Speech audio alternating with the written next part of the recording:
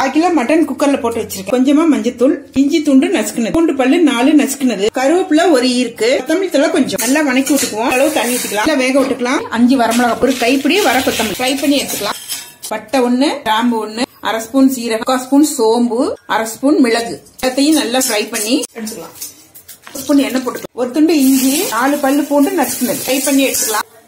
Mixie ஜார்ல போட்டு கையை அரைச்சி எடுக்கும் பொழுது இதையும் போட்டு அரைச்சுக்கணும். ஒரு ஸ்பூன் எண்ணெய் போட்டுக்கலாம். அட்டை ஒண்ணு கிராம்பு ஒண்ணு அடுக்கு கொஞ்சம் சோம்பு கொஞ்சம் ஒரு எக்கு பத்து சின்ன வெங்காயம் பொடியா நறுக்கு அஞ்சு பல்லு பூண்டு பொடியா நறுக்கணும் மீடியம் சைஸ் தக்காளி ஒண்ணு நறுக்கணும் தேவையான அளவு உப்பு தேவையான அளவு மஞ்சள் தூள். வணக்கி விட்டுக்கலாம் நல்லா வணங்கின பிறகு கொஞ்சம் தண்ணி ஊத்தி மூடி போட்டு நல்லா வேகட்டும். மூடி தேங்காவை பால் எடுத்துக்கலாம். வெந்திருச்சு. அரைச்ச கலையை ஊத்தி அட்டை நல்லா வெந்துருச்சு. அப்படியே இதுல போட்டுக்கலாம். நல்லா கொதிக்கட்டும். எடுத்து வச்சு தேங்காய் பாலை அப்படியே ஊத்திக்கலாம். நல்லா கொதிக்கட்டும். தமிழ் தலை போட்டுக்கலாம். தேங்காய் பால் ஊற்றி செய்த மட்டன் குழம்பு ரெடி இது மாதிரி நீங்களும் செஞ்சு சாப்பிட்டு பாருங்க.